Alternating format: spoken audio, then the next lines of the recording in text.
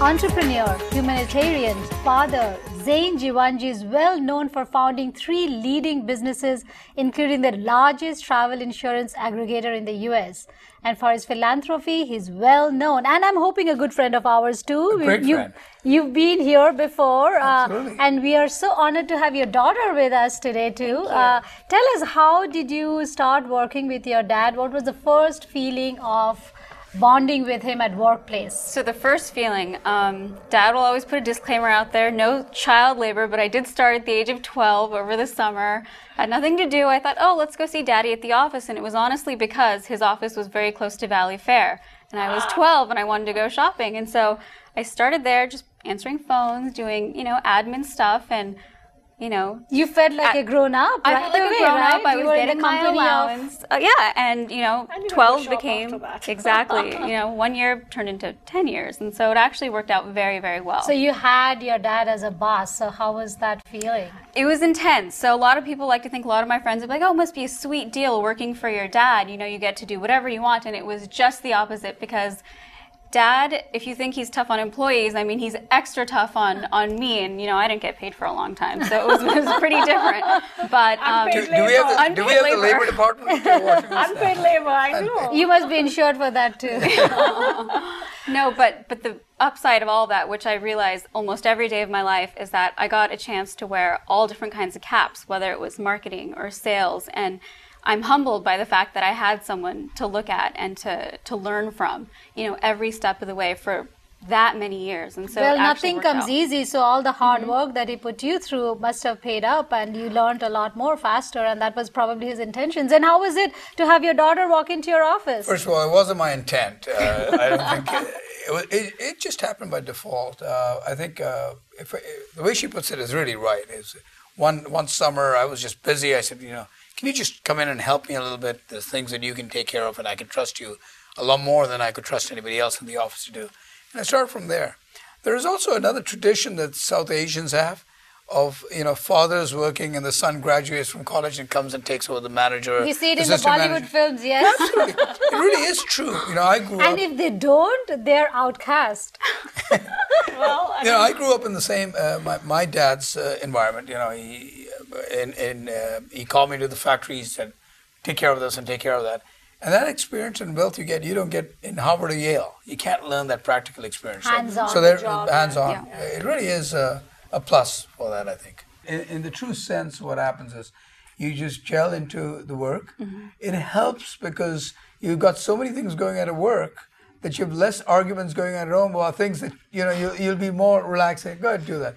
I I think it also keeps kids away from things that distractions. Oh, that's So true. they, they focus more on education and good th- stuff than because your dad's always watching. Plus the bonding, right? You have a common ground, right? You can talk about people in the office, good, bad, whatever it may be, and it makes you uh, come closer and bond Yeah. better, I guess, right? It, it actually works out. And in terms of bonding, um, you know, the whole father-daughter dynamic and relationship, I'll say, I'll be the first to say it and I'll say it on, on camera. I am turning into my father.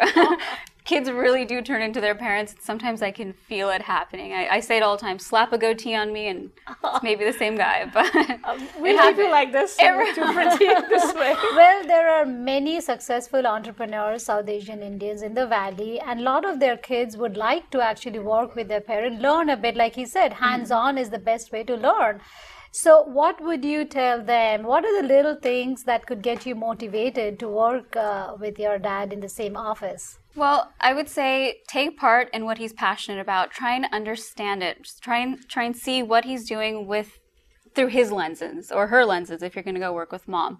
Um, and until you can really understand, you know, the amount of passion and effort and and meaning that he and value that he puts into it or she puts into it, only then can you truly immerse yourself in in that work and in that space and really get the most out of it. Could you tell our viewers how they can actually maintain a healthy and robust family life while they're struggling hard or working hard in their careers? Uh, it's it's difficult because when you're when you're struggling hard in your career or in your business and finances are tough, when you go in the evening home on your dining table, it's tough. Right. Entrepreneurs face that a little easier because they're used to that risk-taking module. People that are employed, it's not easy for them because you've got a security base, a cushion built up, and that's getting smaller and smaller.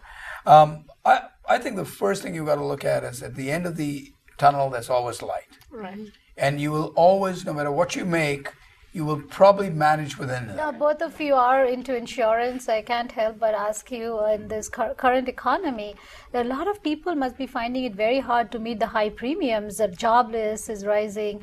What would you advise some of our viewers to do to lower their premium? Well, um, you know, there are several factors that can lower your premium. Uh, one of the things I tell most people on the auto and home insurances have your agent look into your deductibles, your cost of insurance, where are things you can chop off. There are a lot of things on your policies that can be negated and save your premiums considerably. You could you could take 20 or 30 percent off your premiums very easily without taking too much risk on. Um, so keep the cash flow with yourself. That's the first thing. In medical insurance, you've got several things that help you. Your employer, if he doesn't have a group plan, ask him to put in a group plan. There are a lot of tax credits right now that he gets. Up to 35% of the premium can be paid by tax credits, uh, payroll tax credits that could help a small company that doesn't have group benefits to put it in, so he could help you there. Uh, if you're in Cobra, that means you've lost your job and you're unemployed. Stay on Cobra instead of joining some other plan or buying it out, because most of the Cobra premiums also you can get credits for that. How would you advise to weigh all those options out? I, I would always recommend people that you go with the broker.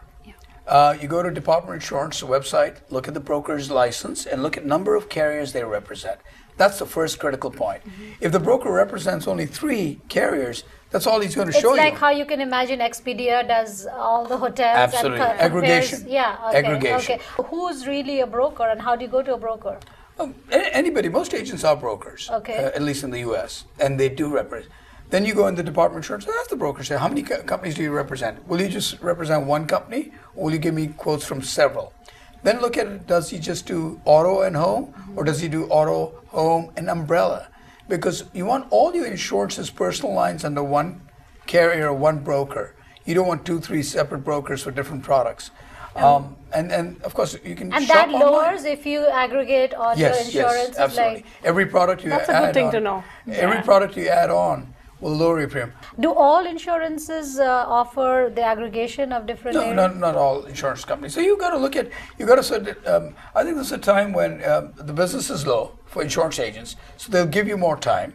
They'll sit with you. They'll uh, they'll guide you into what works for you.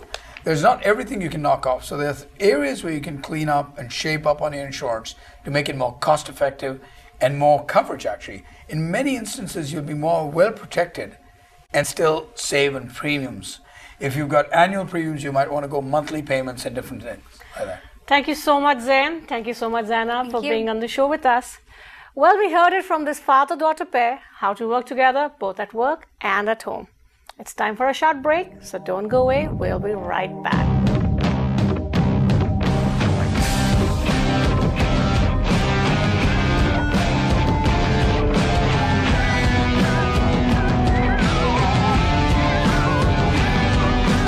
Boys and girls up.